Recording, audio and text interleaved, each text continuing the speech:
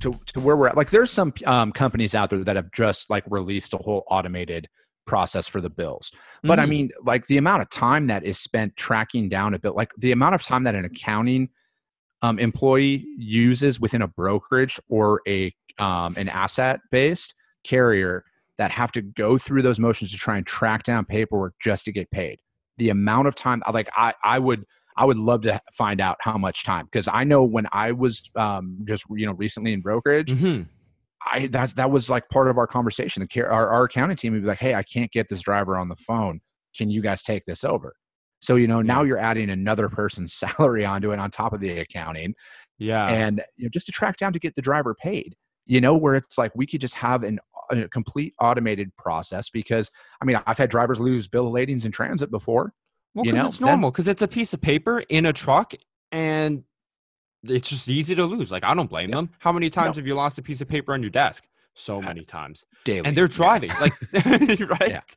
so like the crazy part is like it should be easy. I was having this conversation with a customer like literally last week, where their biggest issue wasn't wasn't even like the broader st- wasn't even like the location visibility stuff like the really cool stuff everybody loves talking about.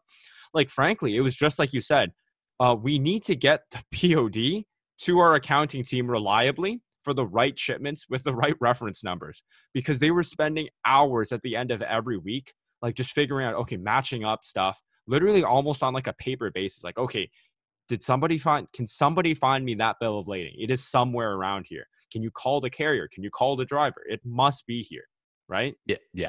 I mean, that's just a whole that's a whole other thing. I mean, I can't tell you the amount of times that the shipper creates a PO, the PO is not sent over properly. So then the the the the receiver's not paying them, then we're not getting paid because of one PO number.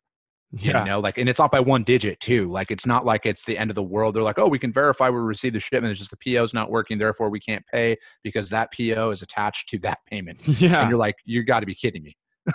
like it's that's it's, it's the that's like the that's the part that technology becomes really frustrating because it's half automated because every shipper i have never seen a shipper whose warehouse side is not automated because it is impossible to do inventory without the software so Correct. obviously all their pos their management they they go by like a strict number basis if you're off by a digit like you said yeah you're not getting paid but the thing is humans aren't good at that you know like naturally like you and me like as smart as like we might be we're not going to memorize like 20 digit numbers consistently no.